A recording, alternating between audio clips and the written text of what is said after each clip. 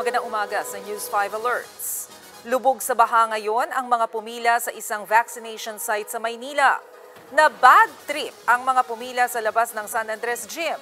Madaling araw na nga sila pumila, binaha pa sila bunsod ng pag-ulan. Baka naman daw mabakunahan nga sila, pero tamaan naman ang leptospirosis. Nasa 2,000 dose ng bakuna ang inilaan sa nasabing vaccination site. Niyanig ng lindol ngayong umaga ang Jose Abad Santos, Davao Occidental. Kaninang 4.26 a.m. na itala ang magnitude 5.3 na lindol.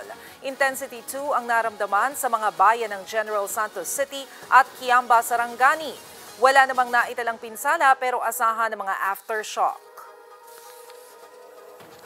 Para sa iba pang mga balita, pumunta lang sa news5.com.ph at sa News5 Facebook page. Ako po si Maricel Halili. Magandang umaga. Bye.